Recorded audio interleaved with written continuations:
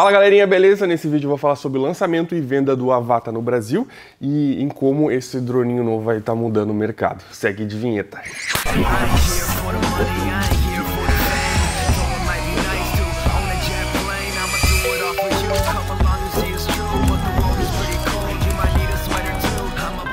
Primeiramente vou falar sobre como o Avata e a facilidade que ele trouxe ao mercado despertou uma coragem muito grande em quem estava com medo de voar FPV. Muita gente sempre quis montar um FPV raiz, só que junto com o FPV raiz vem todos aqueles trâmites, aquela sequência de carregador, bateria lipo, trocar hélice e afins, que não deixa de ser uma necessidade exatamente no Avata, só que no Avata é tudo mais simplificado. Simples fato e que não deixa de ser um fato meio idiota, de certa forma, de carregar uma bateria e ela te dá o ok quando estiver cheia, já é uma facilidade que atrai muita gente. Tá rolando um hype mundial em cima disso, dessa facilidade, e até vocês podem acompanhar nos grupos aí a quantidade de gente querendo vender drones, Protex, Cineups e afins, querendo partir pro Avata. O Avata é um drone perfeito? Não, longe disso, ok? Ele é um Cine Up que às vezes esquece que é um Cine Up e se transforma em um long range. Porque o sinal dele, até fiz um comparativo aqui no YouTube, é realmente muito bom para fazer voos indoor e também é muito bom para ir até perder de vista o drone de vocês, tanto no review completo quanto no teste de sinal, dá para ver muito bem as melhorias que eles fizeram. Não teve tantas melhorias pelo nosso teste, pelo menos no óculos, a gente acredita que a melhoria principal esteja dentro do drone, dentro do Avata. Para que serve esse drone? Fazer voos indoor, filmar perto de pessoas com segurança, obviamente com a permissão delas, fazer long range, pode fazer long range, ok? Para que, que não serve esse drone? E aí entra até a ironia. A gente sempre fala aqui na Rabbit que o ideal para a gente é fazer a voo indoor e fazer long range, que são os exatos dois que ele faz. Tanto que até os nossos drones que a gente vende, um é Cineup e o outro é long range. Tá, mas Guito, não tem interesse naquele centro ali, naquele freestyle, naquele drone racer? Sim, a gente tem, só que para a demanda que a gente tem hoje, ele não é tão necessário. Ele é mais necessário para X esportes bem específicos, que tu precisa ir com o drone muito rápido, ou simplesmente pelo hobby, que é fazer freestyle e manobras e afins. O Avatar faz manobras, flips e afins faz, mas não tão bem, ok? A recuperação dele não é tão boa, ele não é um drone para fazer drop e fazer a recuperação bem pertinho do solo, porque, porque potencialmente ao invés de ficar rente ao solo, ele vai fazer parte do solo, caso você faça um mergulho muito rápido com ele.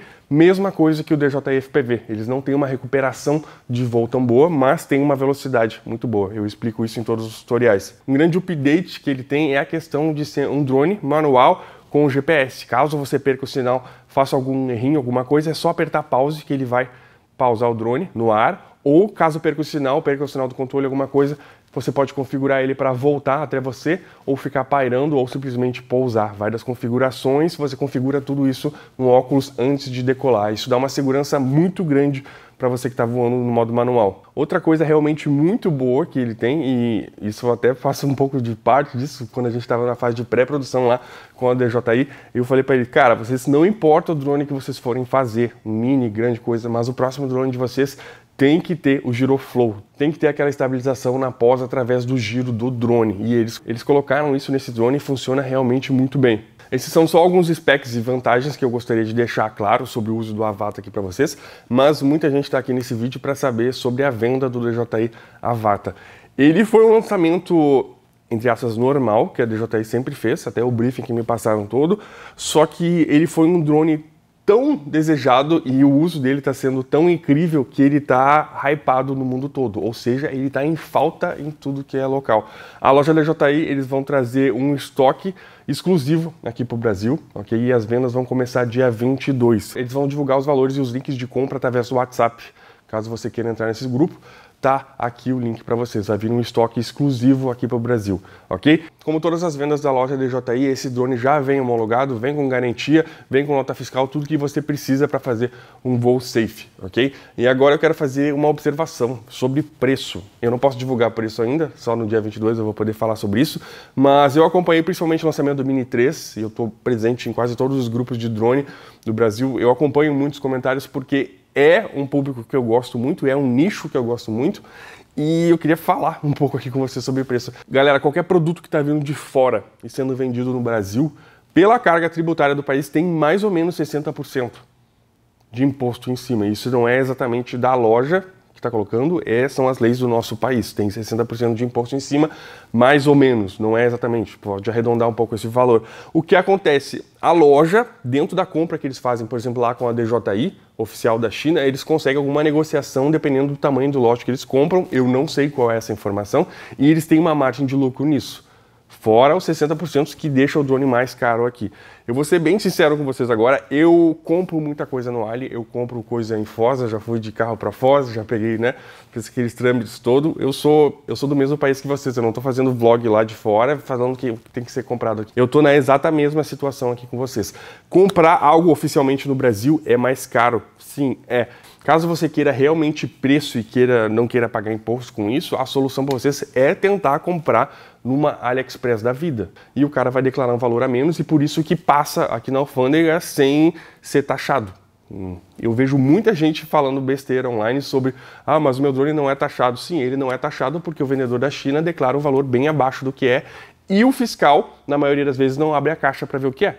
Quando ele abre a caixa para ver o que é, ele taxa em cima de taxa e você paga às vezes o dobro do valor do drone. Estão entendendo? Isso comprando do AliExpress. Então entenda, se você só está buscando preço, a solução de vocês é comprar lá no AliExpress. Não é comprar no Brasil, não é ter nota fiscal, não é ter garantia pelo drone, beleza? Eu gosto e tenho como prioridade aqui né, no nosso vlog, principalmente por causa da visibilidade que a gente tem, é ser bem honesto e bem franco nas situações. Eu vi muita gente postando, tipo, X comentários fazendo contas que não existiam, ok, para explicar o valor dos drones e tentando justificar alguma coisa aqui no Brasil de forma incorreta, beleza?